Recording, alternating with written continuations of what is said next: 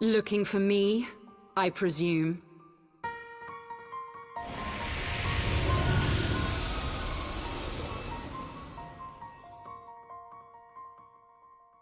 Ah, the child who glimpsed the truth.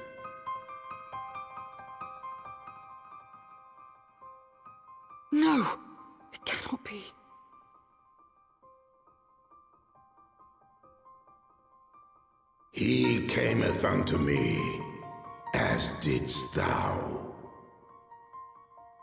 Alike in gifts, yet set upon different paths.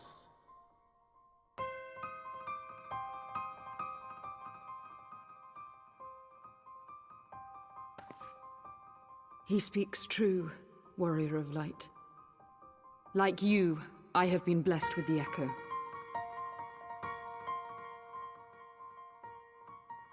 The visions terrified me at first. They came without warning. I wondered what I had done to deserve them. But I had no time to ponder such things once the calamity came. The land turned against us, and in a matter of hours, Falcon's Nest was buried under ten fulms of ice and snow. We had no choice but to flee for Ishgard. We came to the wall, and while we searched for a way through, there was an avalanche. And then I was alone. So I set forth for Dravania. I knew full well what might happen where I found. But I could not survive on my own. I was found, of course. And not by a mere dragon, but by the great worm Hraesvelgr! And it was then that I knew why I had been given this gift. For with it I heard his voice, and saw the truth through his eyes.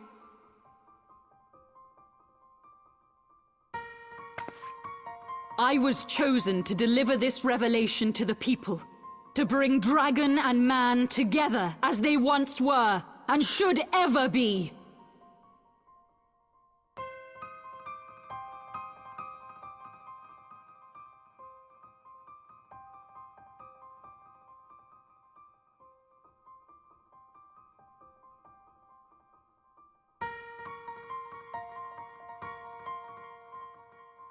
Wasn't supposed to be like that.